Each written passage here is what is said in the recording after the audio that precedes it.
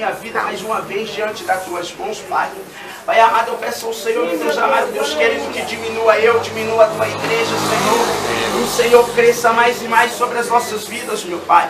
Que desapareça eu, meu Deus amado, Deus Santo, Deus de poder. Pai, a tua palavra, Senhor, já foi lida, Senhor, meu Pai, nesta noite, meu Deus amado, Deus Santo. Pai amado, eu peço ao Senhor, meu Pai, que o Senhor venha me conduzindo, Senhor.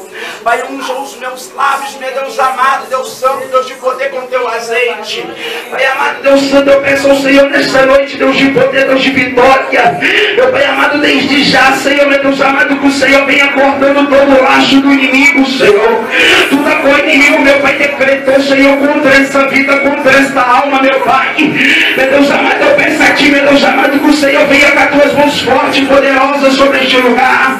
Meu Deus amado, Deus querido, eu peço ao Senhor, meu Pai, que o Senhor repreenda todo ladrão de palavras, Senhor.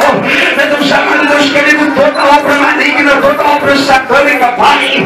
Meu Deus amado, que na medida, Senhor, meu Deus amado, da tua palavra, Senhor, a qual fosse semeada sobre corações, meu Deus amado. Meu Pai, que o Senhor, meu Deus amado, venha movendo, venha quebrando Senhor cateados.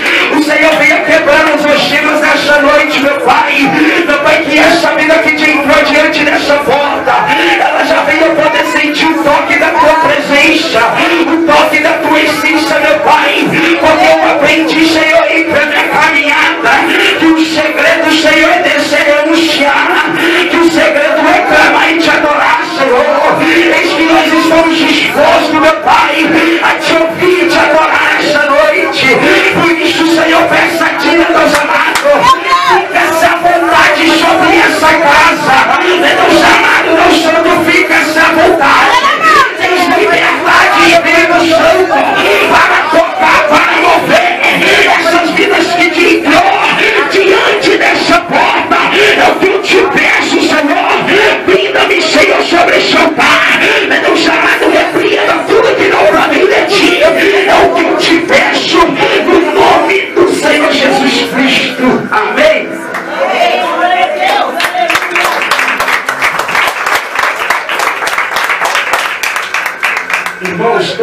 conhecemos essa palavra, a qual muitos, muitos conhecem. Essa palavra é bem pregoada, ela é bem falada. E eu, quando eu estava vindo para cá, interessante que quando o Michel me fez esse convite, foi tanta barreira, tanto impedimento. E eu perguntava a Deus o que, que é isso, Pai, que está acontecendo. Porque eu estou vivenciando isso e o Senhor falava comigo no meu coração. Aquieta a tua alma, aquieta o teu pensamento. Porque o que eu vou fazer sobre aquela terra, sobre aquele ministério é muito grande. E quando eu vinha para cá, Deus colocava essa palavra sobre a tábua do meu coração. Interessante que eu nem, nem, nem vi, nem imaginava que o segredo era valente, os negócios eram de vermelho aqui. E Deus falava no meu coração, tratava essa palavra sobre a minha vida. E eu quero ministrar essa palavra sobre o teu coração nessa noite. Interessante, quando Deus levanta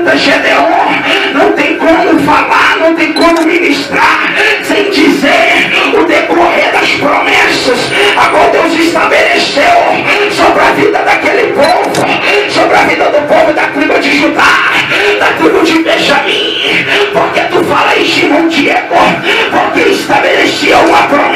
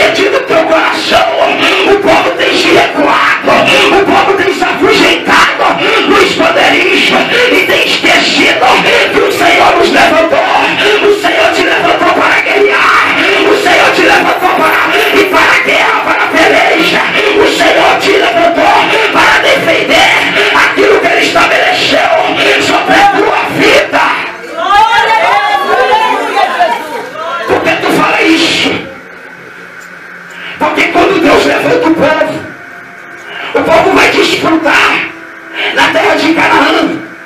O povo vai negligenciar as melhores coisas. Mas algo que me chama a atenção, o povo tem relaxado. O povo tem esquecido o que Deus falou com eles. Estou levantando o tribo de Judá. Estou levantando a tribo de Benjamim. Mas o segredo é guerrear. O segredo é pelejar. E muitas das vezes queremos afugentar.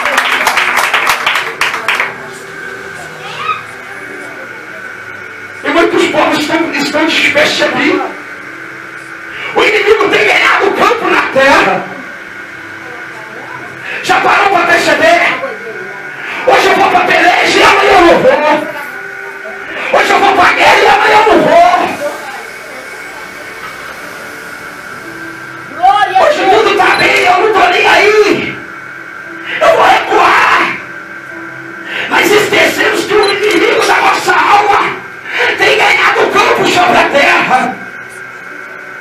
Tem se levantado contra o povo de Israel. Tem se levantado contra a nação de Deus. Interessante que em Juízes, capítulo 2, a palavra de Deus nos fala que quando eles levantam para adquirir aquela terra, houve peleja, houve guerra, houve batalha.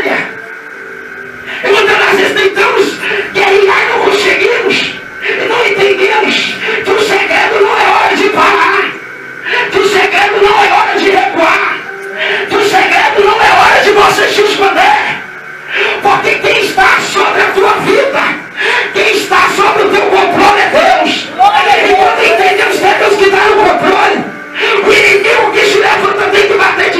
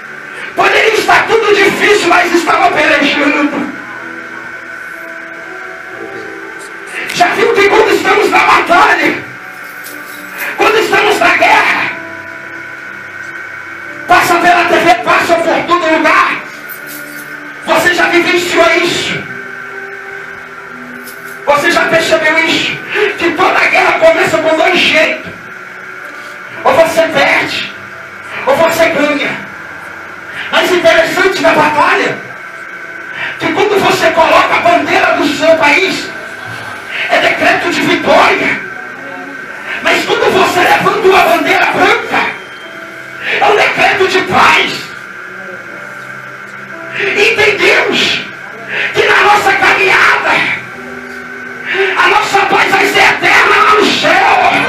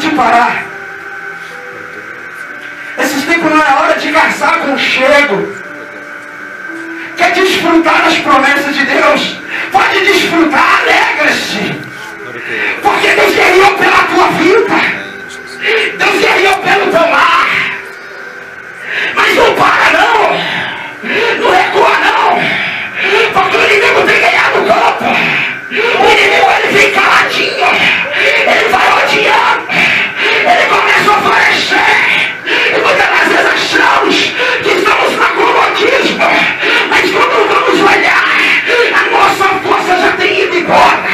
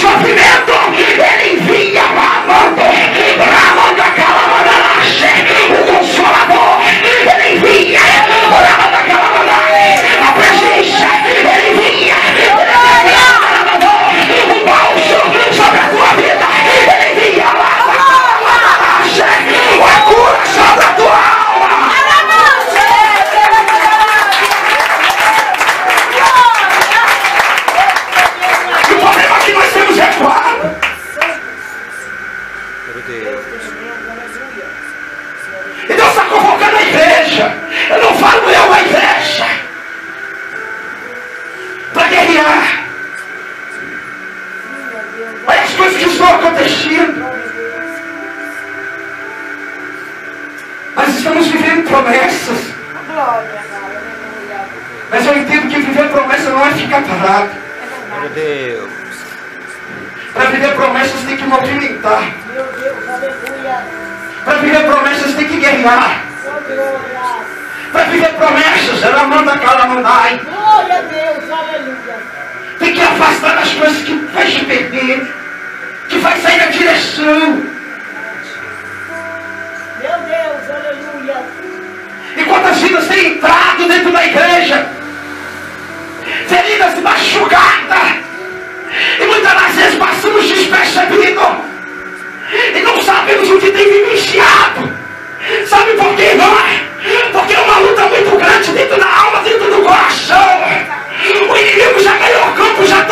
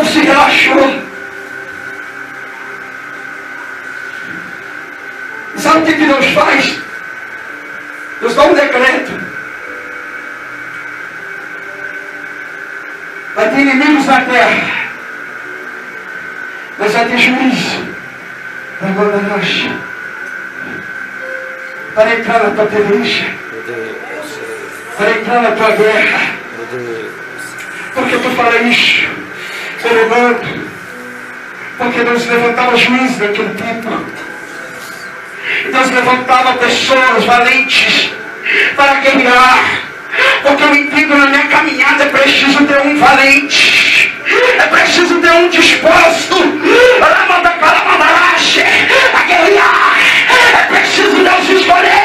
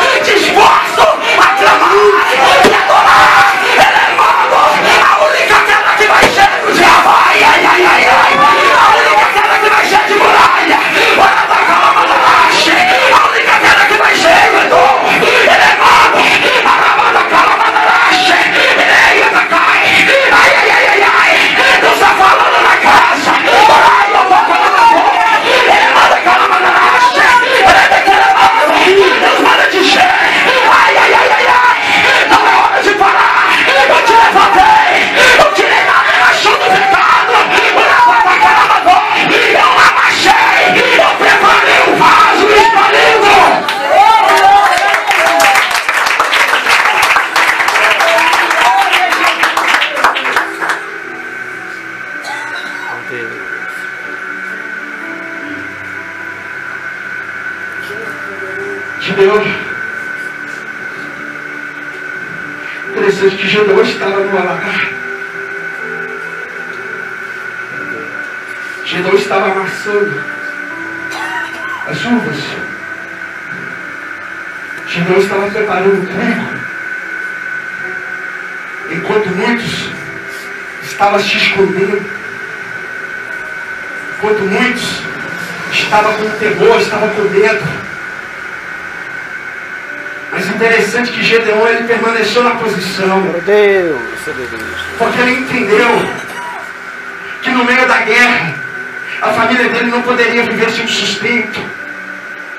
Ele entendeu que no meio da guerra a família dele não poderia viver sem as promessas do Senhor. E muitas das vezes, no meio das nossas promessas, os nossos planos é frustrado. Os nossos sonhos é frustrado. Sabe por quê? Porque o inimigo tem rodeado. Interessante, o inimigo, ele eu aprendi algo que ele tem paciência para nos matar. Ele tem paciência para nos destruir. Porque tu fala isso? Porque pode perceber, você vai caminhando, ele vai te destruir aos poucos.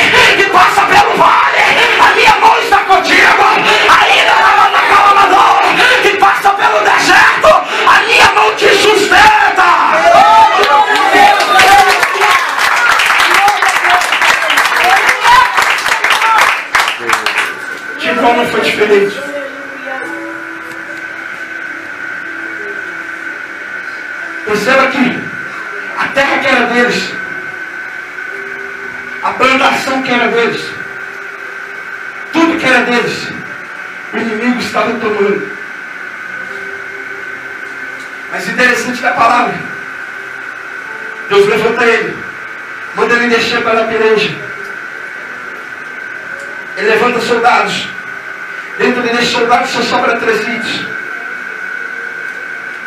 E algo que me chama a atenção, que os inimigos eram tantos. E ele foi acabando com um a um, a um, a um. E ele não parou. E o problema de nós é poupar. O problema de nós achar que o inimigo não tem poder. E o problema de nós é achar que o inimigo não pode ganhar campo. E o problema de nós é achar que o inimigo não pode dominar. Mas deixa eu te falar algo. Hoje é noite de revestimento. Hoje é noite de Deus brindar você. Manda aquela mandaraste. Hoje é noite de Deus amar você. Levanta a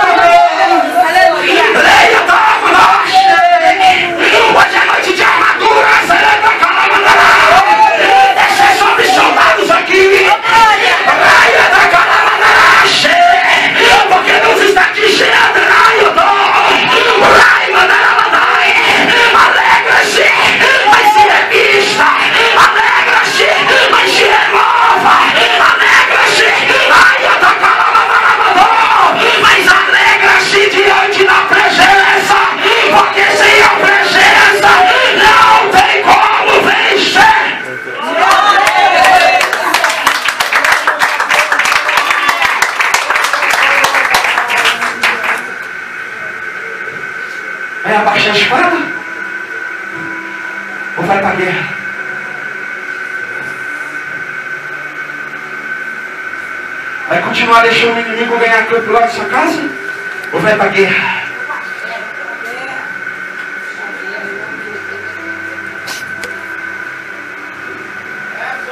A Deus. Eu vou dizer. Deus te convida para a guerra nessa noite. Você que tem abaixado a espada. Talvez a luta tenha sido grande. Talvez a peleja tenha sido grande.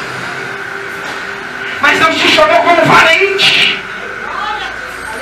Deus te chamou para guerrear. Glória, glória. Já viu que nós enterramos os nossos próprios sonhos? Verdade. Porque tememos ao inimigo que está à nossa frente. Já viu que o inimigo tenta frustrar as nossas alegrias, o nosso amor.